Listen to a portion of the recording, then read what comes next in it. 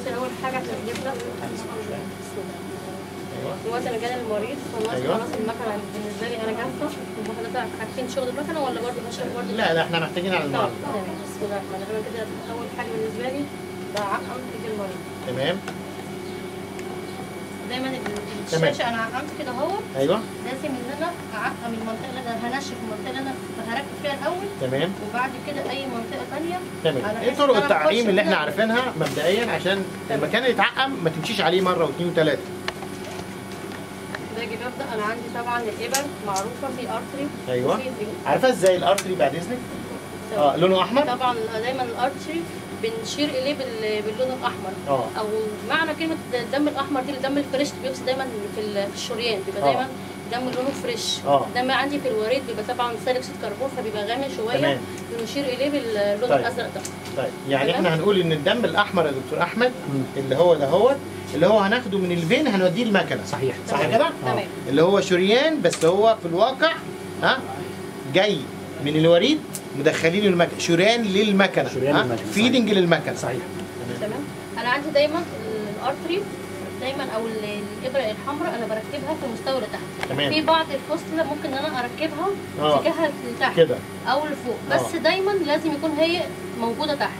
لأن عندي دايما الإبرة ال vein لازم تكون اتجاهها فوق. أو. هي مستواها أعلى شوية يبقى إحنا بنقول إن الإبرة ال artery تبقى لتحت كده ممكن والإبرة ال vein تبقى كده. كاتجاه. ممكن آه. تركب لتحت آه. أو لفوق. بس المستوى لازم تكون هي من تحت أسفل الدراع. آه. تمام؟ آه. آه، مش فاهمها أنا قوي دي. هقول يعني لحضرتك حضرتك يعني أنا ممكن, ممكن أنا أيوة. ابدا من هنا؟ أيوه. مفيش مشكلة. تمام؟ وممكن هبدأها برضو من هنا مفيش مشكلة. آه. بس أنا عندي محيط الدراع اللي أنا هركب آه مسافة معينة. لكن ال vein دايما مستواه لفوق ودايما إبرته اتجاهها قصدها لفوق. حضرتك إنك راكب ال vein. آه. لازم يكون ال- ال- ال- ال- ال puncture بتاعت ال artery آه. بتاعت ال venous needle تكون أعلى من ال arterial أيوه آه. لازم ال... أنا أنا فهمت الفكرة دلوقتي. ال puncture بتاع ال arterial side اللي رايح للمكنة لازم يكون مستواه ها؟ آه تحت كده مش زي ال venous ال venous لازم يكون من بعد. دايما بيكون خلاص قريب كده. من العملية فهمنا كده ال artery قريب من ال fistula.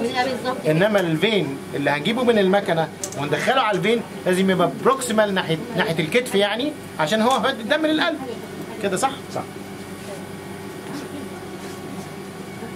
أنت قستي مقاس دلوقتي؟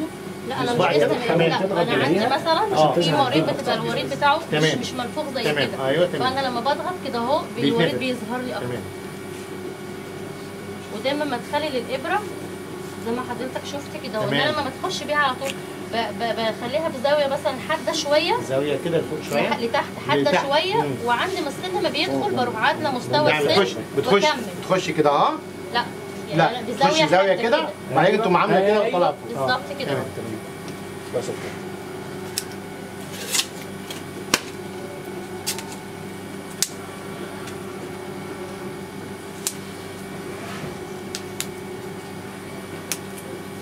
طيب. طبعا هي هي هي لون الإيه؟ لون الكانيولا. ها أنهي بقى فيهم؟ ال artery وال vein. ما حدش يجاوب. أنتوا اللي هتجاوبوا. ال artery لونه أحمر طبعا. هيروح للمكنة وال vein. هيجي من المكنة ويخش على ال vein ويروح على ال heart صح. أنا عندي هبدا أنا عندي ال line برضو أحمر وأزرق. خلاص بقى إحنا عرفنا أحمر وأزرق؟ وعرفنا اتجاهاتنا ماشي. ماشية إزاي. ماشي يبقى أنا أول حاجة هقفل ال pump هقفل ال clips بتاعتي هوصل برضو ال line ال red مع ال red.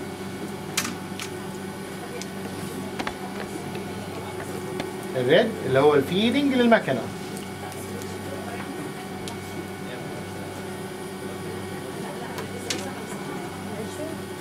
تمام؟ تمام. أنا عندي اهو فتحت ال pump. طبعا دي سرعة ال flow اللي أنا بسحب بيها. سرعة ال flow اللي هياخد الدم من الجسم يوديه للمكنه يعدي ده اللي إحنا لازم ليه علاقة بتاع ليه. علاقة بال flow بتاع العملية. بتاع الدوبلر؟ آه. طيب هنا أهوت ال flow مكتوب 330 ده معناه إن ال flow في العملية دي لا يقل عن 800 أو 900 مللي. آه يعني هنا ال flow اللي في المكنة شوية مختلف عن رقمه في الدوبلر. يعني إذا كان في المكنة 300 ففي الدوبلر يبقى 600 600 700 600 700 وإحنا قلنا ما يقلش عن 600 700 دوبلر لكن المكنه هنا ده أسعار آه، أرقام مختلفة شوية لكن to be oriented يعني. اتفضلي. أنا عندي الهيبارين اديته برضو قبل الدم هو كده الهيبارين دخل الأول. للفلتر وبعد منه بيبقى الدم. تمام. كده كله ده feeding art آه أنا مش هكمل معايا الشغل عادي خالص.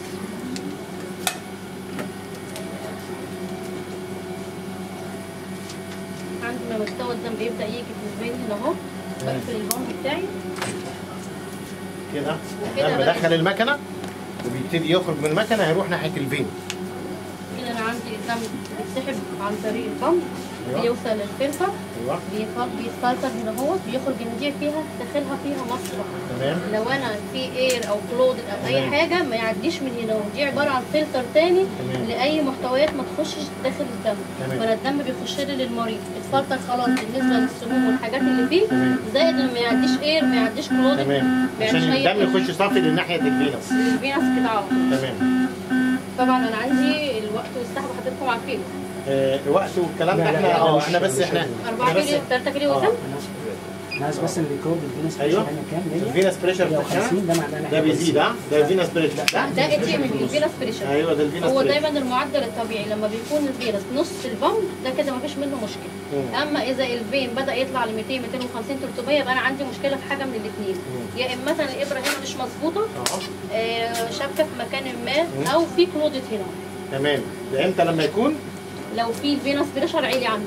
ال venous pressure؟ يعني. لو ال venous مثلا وصل 250 300 فيما فوق يبقى أنا هو عندي هنا غالبا غالبا يعني بنقول ده نص ده صح؟ بالظبط.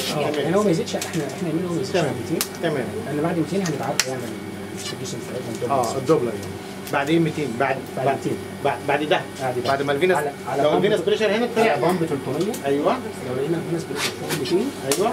لازم دوبلر علشان check على طبعا ال venous. بعد ما Miss صباح قالت إن إحنا لازم نستبعد الحاجات ال local. يعني الحاجات ال local اللي في المكنة. في ال tube مش أيوه أو هواء أو clot blood أو أو. بتبعته بقى عشان تشوف ال venous side فيه obstruction ولا لأ وتشوف ال flow بتاع ال blood أخباره صح. ال volume of flow أيوه. وال venous side أخباره إيه؟ ال volume flow عشان لو في stenosis هيقلل ال flow volume أو لو في post آه، post shunt venous side في stenosis أو في occlusion أو في thrombosis كل الحاجات دي تزود ال venous pressure صحيح. تمام؟ Miss صباح حقيقي آه، nurse معانا في الحسين الجامعي بنشكرها جدا على أنا تعاونها أنا اتفضل. بيها الشرح بتاعها آه آه شرح جميل ما شاء الله. فاهمة فأنا بصراحة مبسوط آه جدا. لا إحنا سعداء جدا. شكرا يا دكتور للصباح شكرا دكتور أحمد اشقر هنشوفك إن شاء الله يوم. الأربعاء بإذن الله. وتحياتنا ليكم.